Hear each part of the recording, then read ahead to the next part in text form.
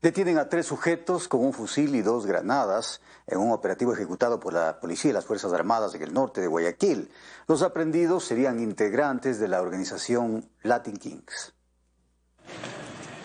Miembros de la policía y Fuerzas Armadas ejecutaban un operativo en la avenida Francisco de Orellana a la altura del Colegio de Ingenieros Civiles en el norte de Guayaquil cuando detuvieron la marcha de una camioneta con tres ocupantes.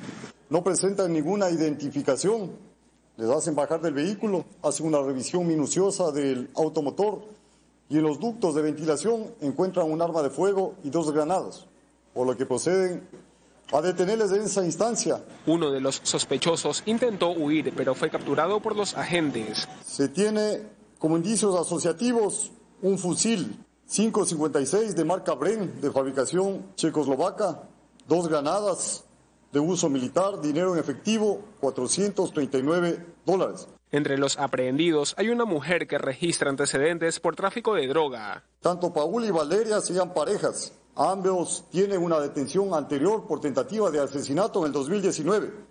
Y también Paul y Marco fueron detenidos en el 2019 también en Machala, en el cantón Pasaje, específicamente cuando vestidos de uniformados o de policías intentaron asaltar un domicilio en el sector. Ellos serían parte de la organización Latin Kings. Está verificando y serán sujetos a investigación tanto el arma de fuego, las pericias correspondientes. Las ganadas serán entregadas en cadena de custodia al grupo de intervención y rescate. La policía ahora investiga dónde iba a ser utilizado el fusil y los explosivos decomisados.